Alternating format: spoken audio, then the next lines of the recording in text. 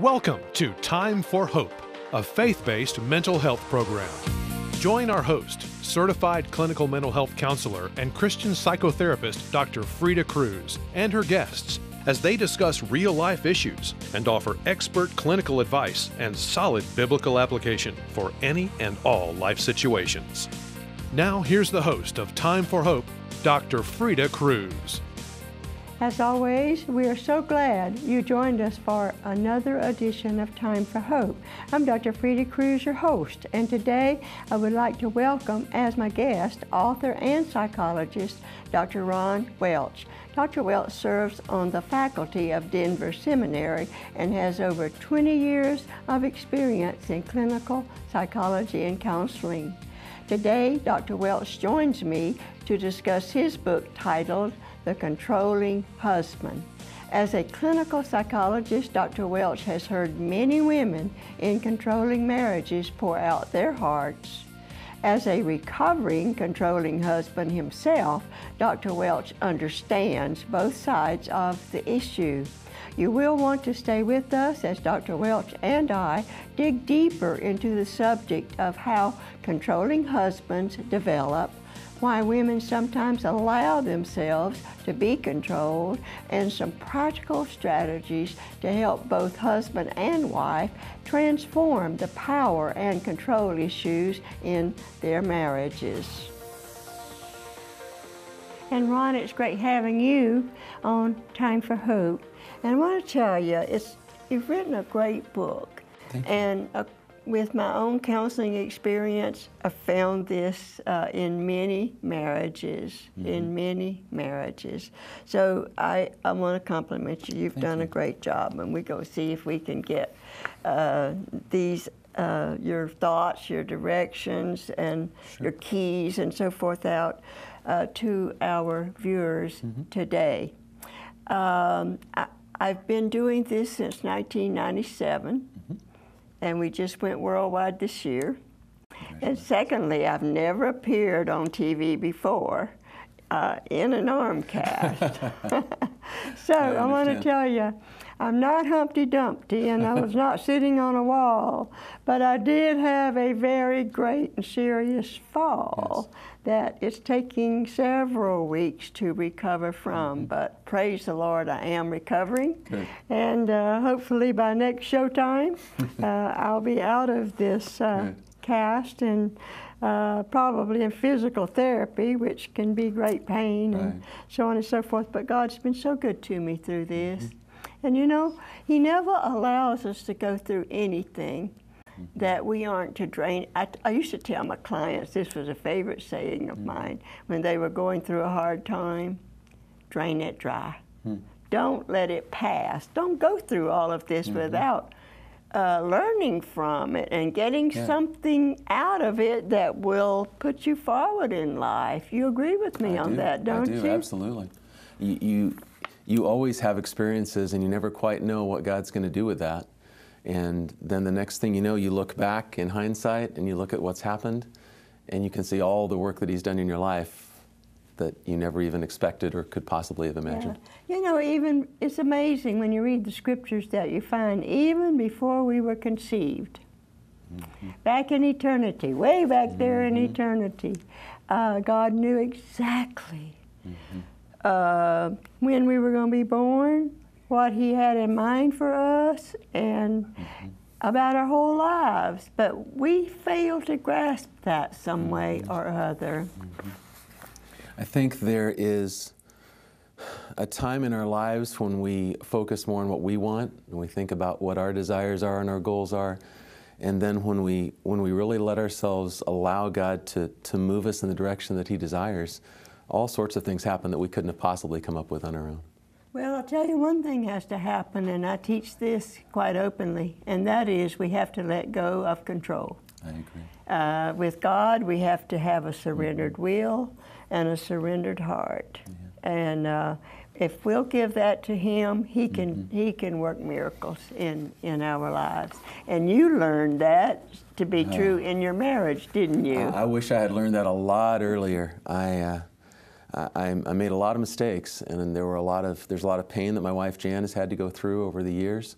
Um, I'm a slow learner. That's why when you introduced me, you mentioned I was a recovering, controlling husband. And that's pretty much how I feel. It's a day to day kind of battle to remember that my, my job is to serve her, to, to be there for my family, to build them up and empower them. And it's so easy to get caught up in my own goals or what I need to do or what I want.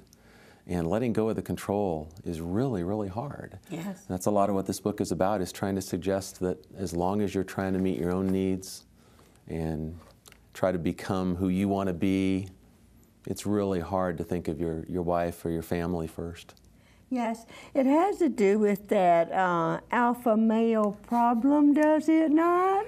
Yeah. Yeah, the big, yeah. uh, Mhm. you know, the big monkey in the crowd and Yes, the big this yes. in the crowd. You know, we learned that in the sandbox. I mean, as early as, as, as kindergarten, when Johnny comes in with to the sandbox and Frankie's there with his nice toy, and Johnny has to decide, you know, do I want to go take that toy or is it Frankie's toy? And then you, you, you get into athletics where the, the people who are the strongest athletes, they're encouraged to knock down the other guy and run over him with the ball. And then you get into uh, the workplace, and the people that are in control tend to get their way.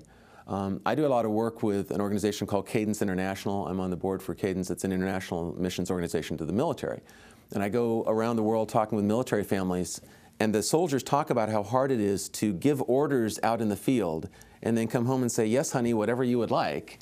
And, and what do the kids want? And, and law enforcement officers tell me the same kind of thing. It's so hard to be in control when you're supposed to do your job well and then come home and try to serve other people. And it gets difficult for people because they, they have trouble with those roles. Well, we served a military church. Mm-hmm. I'm having some allergy problems these days. And that was something that the women Mm-hmm. shared with me because they were in full control, having to look after everything while their husbands were away uh, Yes. in war or uh, in other places and uh, so forth. And suddenly, when they came home, very often they wanted to pick up where they left off, Right. and they didn't give those wives a chance. And Right. man, they didn't know how to just suddenly hand everything over to him. Plus, And- the wives are saying, We've been doing pretty well on our own here. Yeah, Right? yeah, and they did. That was so, that was Right. true so often. right. Uh, um, they they often so did Mm-hmm. did a great job and uh, so forth. But I've even heard since we left that church many years ago that some of them actually didn't make it. They Mm-hmm. divorced and. Uh, so they couldn't couldn't readjust, Mm-hmm. uh, and I don't know how often that happens with military families. A lot. A lot. It's Yeah. a sad. situ- Yeah. It's sad that that is true. So, anyway, we want to be looking at the difference uh, as we go through two shows. I'm going to do two shows great, with you on this great. book on the difference between being a controlling husband Mm-hmm. and one that is violent physically and a physically harmful Mm-hmm. husband. Because I've had many uh, situations in my own counseling where I had to advise the women to get out for their own safety, and you and I both are on this Right. Uh, are on the same wavelength there. Um, that if if they're being harmed and abused physically, they've got to make arrangements to get out. But at the same time, they must know that that's the worst time and that's the most unsafe time. Right. So that it takes you just don't up and pack and leave. Um, you've got to have some help mm-hmm. in kind of you know slipping out mm-hmm. uh, when this kind of thing is going on. And i've helped many a woman. Mm-hmm.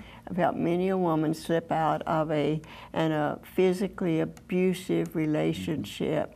And they have to understand going by the the scriptural teachings on submission because i was always uh, connected with a church and Sure. christian ministry and that kind of thing that god doesn't expect this this is not something God says that you've got to submit to. You don't have to submit to physical violence. Come on, talk to me about it. You know, one of the referral questions I get is a wife will call and say, My husband and my pastor told me if I just learned to submit better, my marital problems would go away." I away. heard it over and Yep. over and over. What about go home and pray? Mm-hmm. And, and then you would think maybe the pastor and the males would be the ones who would cause the most difficulty.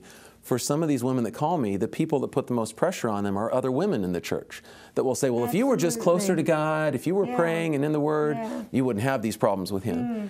And that creates so much guilt and shame for Mm-hmm. the woman who's trying to understand what that looks like Mm-hmm. and how to, how to be a good Christian wife or, and how to, how to love her husband when he's doing things that are very hard to love Mm-hmm. Yeah. and that are not acceptable. There's a lot. Of, there's a world of difference in submitting to abusive physical harm, and respecting and seeing Yes. as the head, the headship issue here, and giving him that rightful place as uh, you know in the marriage and in the family, and so on and so forth. So.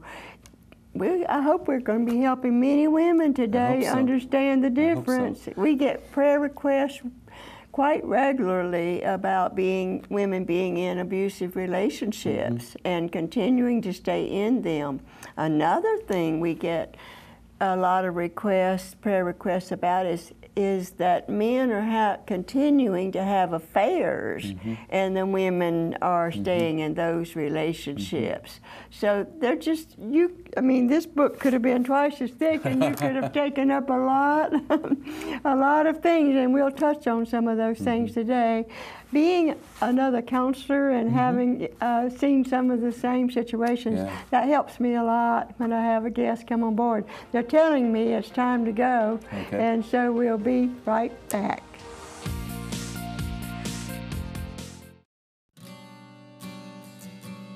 We have all witnessed it a few times, the bride and groom each taking a candle and lighting the unity candle, symbolizing they are becoming one, while they are going through the motions of formalizing and declaring their covenant and commitment to each other to love, cherish, and remain faithful forever. Visions of a blissful and love filled honeymoon dance through their heads. Most marriages include a honeymoon stage, during which time each partner believes he or she has found the one person in all of the world who wants to and can meet all of his or her needs. While the endorphins flow, honeymooners embrace the illusion that this is the way it's going to be for the rest of their lives. The reality is that all couples will eventually hit the inevitable marital rapids. There is no perfect merging. The honeymoon will not last forever. Within a few weeks or months at the most, and some have been truthful enough to report while on their honeymoon, trouble shows up in paradise. Very early on, and usually imperceptibly, marital partners began to dance to the drums of power struggles, poor or destructive communication, emotional wounding, selfishness, self doubt, unmet needs, unrealistic expectations, distrust, sometimes physical abuse, and other foxes that spoil the vine of marriage. When you realize that your mate and marriage are imperfect, instead of throwing in the towel as too many do, or trying to change each other unless there is physical violence or prolonged and persistent verbal and emotional abuse, resolve to change your marriage into the one that you have always wanted. This can be done by learning to listen to your spouse, by identifying and validating his or her love and relationship needs, and asking your mate to do the same for you. By viewing problems as belonging to both of you, and by resolving to work on them together, by attacking the problems and not each other. Avoid the following strategies when you engage in conflict discounting your partner's needs, withdrawing, threatening harm, blaming, belittling, guilt tripping, and punishing partner by withholding pleasure or affection. And don't hesitate to seek available pastoral and or professional help. The best treatise on love is found in 1 Corinthians 13 of the Holy Scriptures. Read it regularly.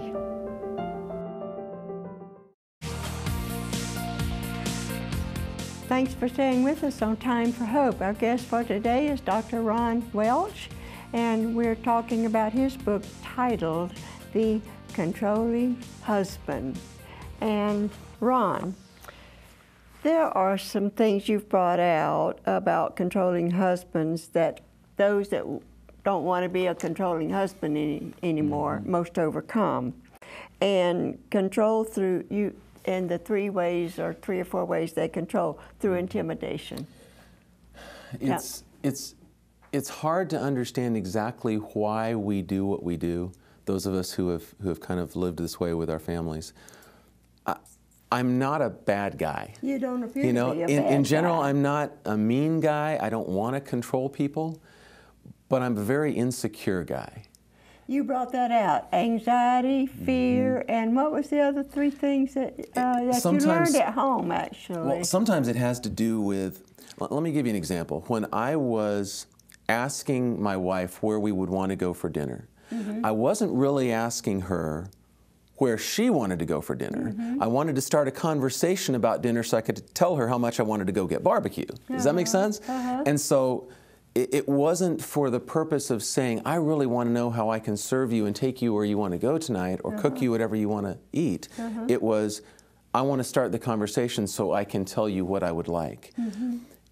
And when this really hit home, God just slapped me across the face when I started seeing my young sons talk to her the same way they would tell her what they wanted or tell her where she needed to be or what she needed to do for them. And I would give them the father and say, Don't talk to your mother that way, you're supposed to respect her.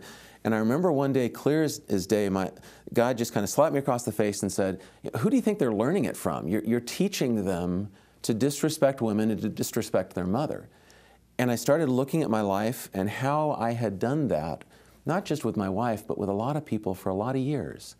And it had to do with trying to present this image to everyone else of how competent and in control I was, because I was scared to death that things would fall apart if I wasn't. And I wasn't very good at trusting God, because I'd send him the emails. I'd tell him all of my directions of what I thought he wanted, right? Yeah. Or what I, he should do. But in my heart, I was pretty much certain the only way things would be okay is if I took care of them myself. You're, you were actually living in fear of losing control. Yes of your life day. period Every and day. that had to start back in your family of It did. origin right It did. My- so many of our issues date back to our families of origin My dad was, was somewhat controlling. He, he certainly wasn't as bad as me, but um, my mom was, God bless her, she was, the glass wasn't half full, it was draining rapidly, if that makes mm-hmm. sense, and, and she could see all the dangers around every corner. So I grew up learning to try to see what might go wrong, mm-hmm. and I got pretty good at trying to prevent some of those bad mm-hmm. things which probably wasn't a good thing because then I started believing I was actually in control. Fix things. You could fix everything, right? A few years ago, my, my mom passed away. My dad passed away before that. I had a lot of things in my marriage that were falling apart.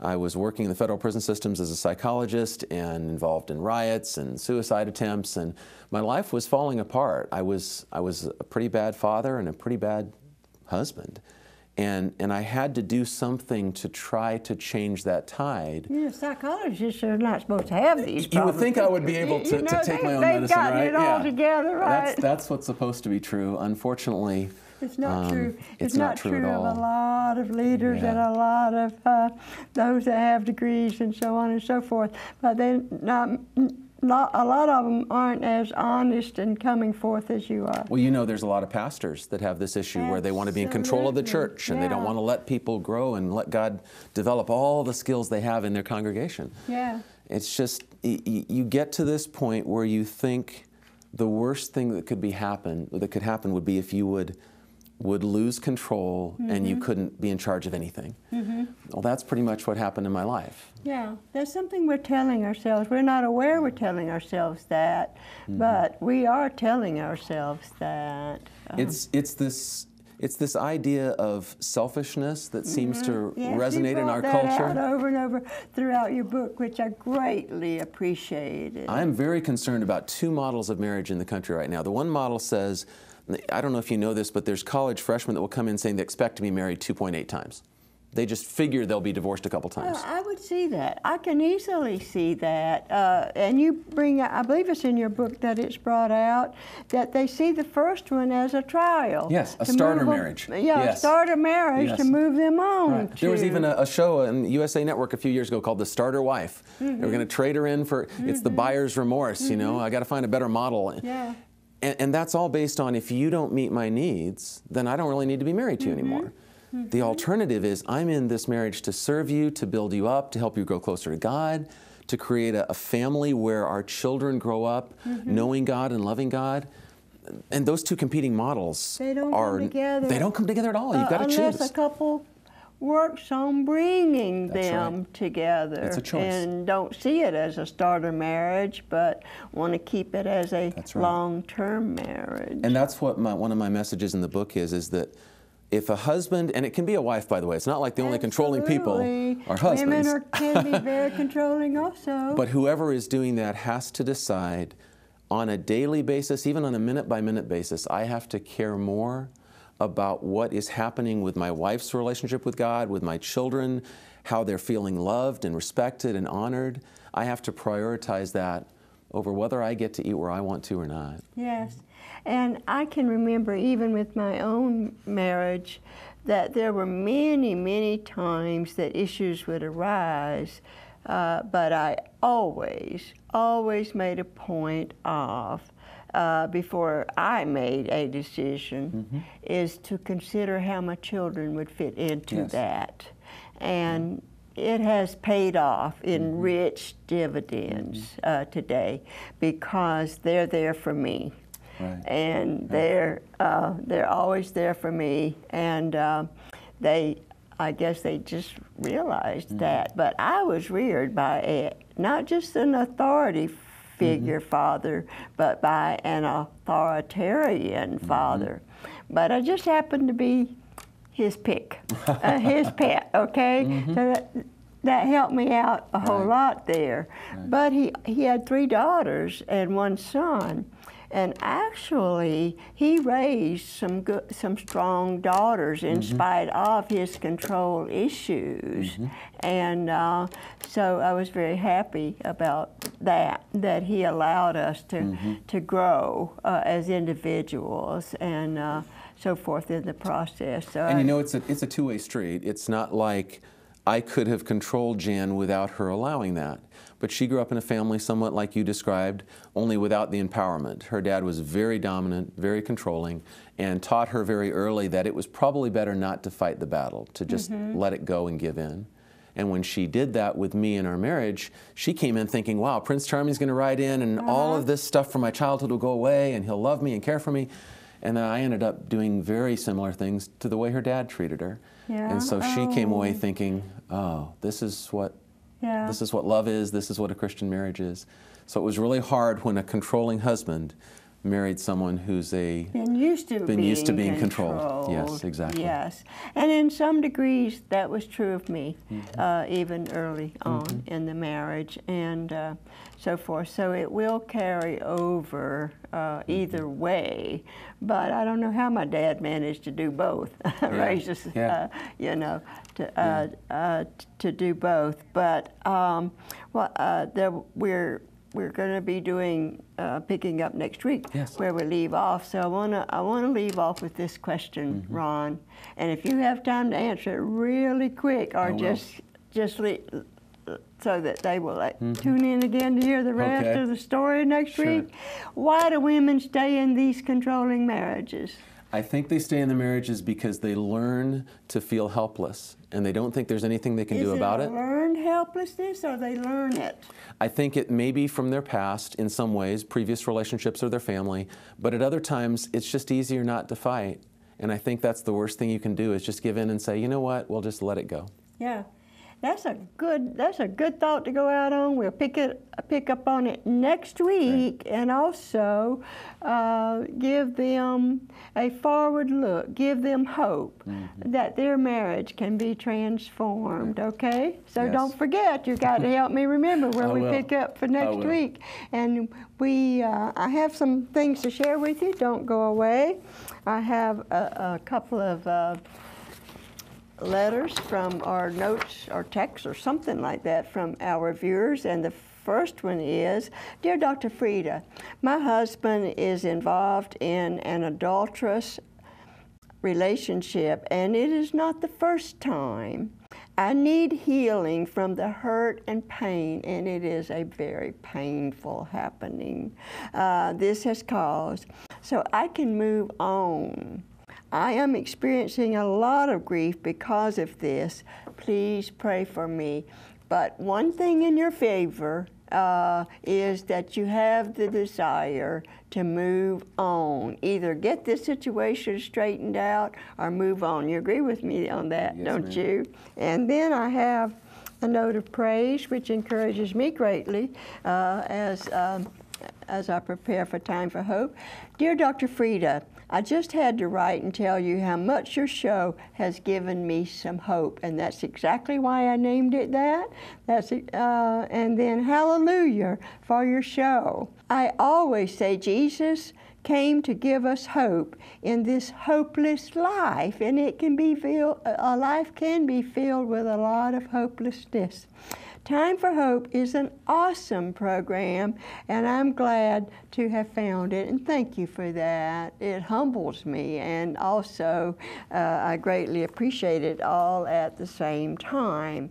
Now, the next thing I would like you to do is if you have not considered contributing to Time for Hope and helping us with the expenses of carrying on this now worldwide uh, a program that you would consider doing that. And then uh, the other thing that I want you to do is make sure you join us again next week on Time for Hope.